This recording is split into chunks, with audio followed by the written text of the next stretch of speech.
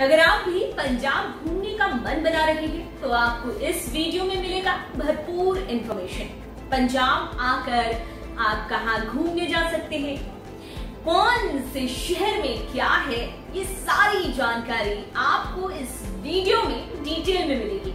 तो हमारे साथ बने रहिए लास्ट तक इस वीडियो में और हमारे चैनल को सब्सक्राइब कर लीजिए। बेल आइकॉन दबाना बिल्कुल मत भूलिए। अगर आपको ये वीडियो पसंद आए तो लाइक करें कमेंट करें और शेयर करें। अगर आप हमें फेसबुक पेज पर देख रहे हैं तो हमारा पेज सबसे पहले लाइक करें। चलिए आगे बढ़ते हैं। पंजाब टूरिस्ट प्लेस के लिए काफ़ी ज़्यादा फ़ेमस है। अगर आप भी यहाँ घूमने का प्लान कर रहे हैं तो चलिए आपको कुछ बेहतरीन ऑप्शंस बता देते हैं, ताकि आप घूमने का पूरा का पूरा मज़ा ले सके। सबसे पहले जानते हैं अमृतसर शहर के बारे में। अमृतसर में हरमिंदर साहिब गुरुद्वारा, यानी कि मशहूर स्वर्ण मंदिर, जहाँ हर साल लाखों टूरिस्ट पहुँचते हैं। इसके अलावा आपको यहाँ जिलियावाला बाग बागा बॉर्डर और कई पुराने मंदिर भी देखने को मिलेंगे।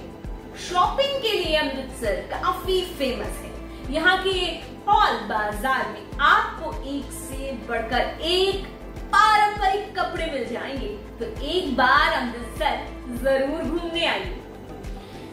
अगला डेस्टिनेशन आपका हो सकता है चंडीगढ़।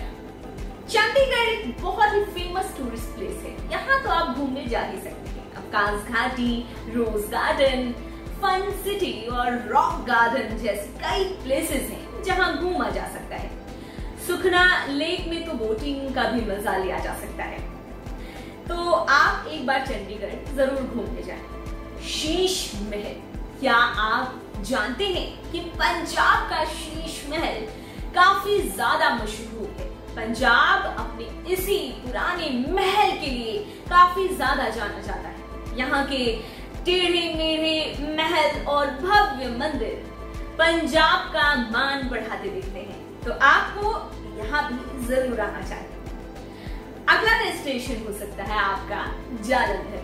ट्रैवलिंग के लिए जालंधर शहर भी काफ़ी बेस्ट माना गया है, जिसका, जिसकी खूबसूरती देखते बनती है। देवी तालाब मंदिर वंडरलैंड थीम पार्क और या फिर सेंट मैरी कैथेड्रल चर्च नितपाल इमाम नासिर मस्जिद या फिर रंगीला पंजाब हवेली। ऐसी कई जगहें आपको यहाँ पर मिलेंगी, जहाँ आप घूमने जा सकते हैं, मज़ा उठा सकते हैं, लुत्फ उठा सकते हैं। अगला डेस्टिनेशन हो सकता है आनंदपुर साहिब।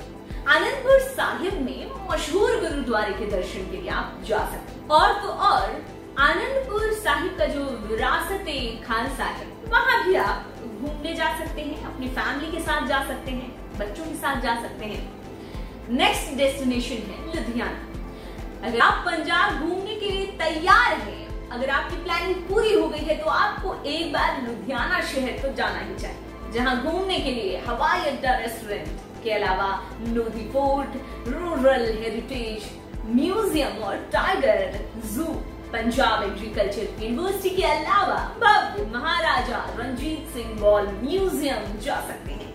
इसके अलावा यहाँ आपको Phillaur park Nehru Rose Garden के साथ ही डियर पार्क जैसे प्लेस घूमने को मिल सकता है। नेक्स्ट डेस्टिनेशन पर गौर करते हैं। जो आपका नेक्स्ट डेस्टिनेशन हो सकता है, वो है भटिंडा अगर आप पंजाब की हिस्ट्री से काफ़ी ज़्यादा प्रभावित हैं, काफ़ी ज़्यादा आप उसको जानते, जानना चाहते हैं तो भटिंडा घूमना आपके लिए परफेक्ट ऑप्शन हो सकता है। जहाँ जहाँ पर जाकर आप भटिंडा फोर्ट किला मुबारक के अलावा रोज गार्डन घूम सकते हैं। इसके अलावा वहाँ पर आप भटिंडा लेक में बोटिंग का मज़ा भी ले सकते हैं। तीर तालाब जू लकी जंगल जूलॉजिकल पार्क तो घूमने के लिए बेस्ट ऑप्शन होगा आपके लिए। इसके अलावा चेतन पार्क जैसी जगह भी आप यहाँ आकर घूम सकते हैं। तो यहाँ पर आपको भरपूर ऑप्शंस मिलेंगे घूमने के लिए। अगला जो आपका डेस्टिनेशन हो सकता है, जिसकी आप प्लानिंग कर सकते हैं, वो जगह रोपड़ हो सकती है। रोपड़ में आप आनंदपुर साहिब तो घूम ही आए। इसके साथ साथ चमकपुर साहिब गुरुद्वारे के दर्शन के लिए भी आप चले जाएँ। रोपड़ वेटलैंड भी काफ़ी ज़्यादा फ़ेमस जगह है घूमने के लिए। बटिंडा गुरुद्वारा साहिब और पुराना शिव मंदिर आप वहाँ जाकर भी दर्शन कर सकते हैं शिव जी के। अब नेक्स्ट डेस्टिनेशन की बात करते हैं। नेक्स्ट डेस्टिनेशन जो हो सकता है आपका, जिसके लिए आप प्लानिंग कर सकते हैं, वो है कपूरथला। कपूरथला में आप एक एक साथ मंदिर के भी दर्शन कर सकते हैं, गुरुद्वारा भी जा सकते हैं, मस्जिद भी जा सकते हैं, आप एक साथ कई जगह घूम सकते हैं। यहाँ पर गुरुद्वारा तो है ही, मशहूर है बिल्कुल, मंदिर भी है।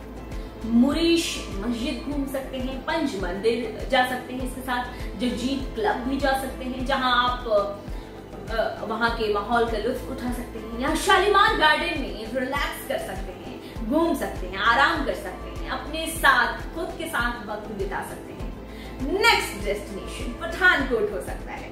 अगर आप पठानकोट घूमने गए हैं तो मुक्तेश्वर मंदिर घूमाए वहाँ दर्शन कराएँ आशापूर्णी मंदिर चले जाएँ। इसके अलावा कदगढ़ मंदिर और पुराना काली माता का मंदिर ज़रूर दर्शन कराएँ। ही यहाँ देखने के लिए आपको नूरपुर किला, रंजीत सागर बाँध, हाइड्रोलिकल रिसर्च स्टेशन और शाहपुर किला भी मिलेगा। तो एक बार पठानकोट तो घूम कर आए ही। अब जो कंक्लूजन निकलता है वो ये कि पूरा पंजाब ही आप घूम कर आ सकते हैं। वहाँ के आबो हवा को आप कर सकते हैं। तो एक बार आप पंजाब घूमने की प्लानिंग ज़रूर करें। वहाँ के टूरिस्ट प्लेसेस को आप ज़रूर एक्सप्लोर करें। हमारा ये वीडियो यहीं तक। आप हमारे साथ बने रहें।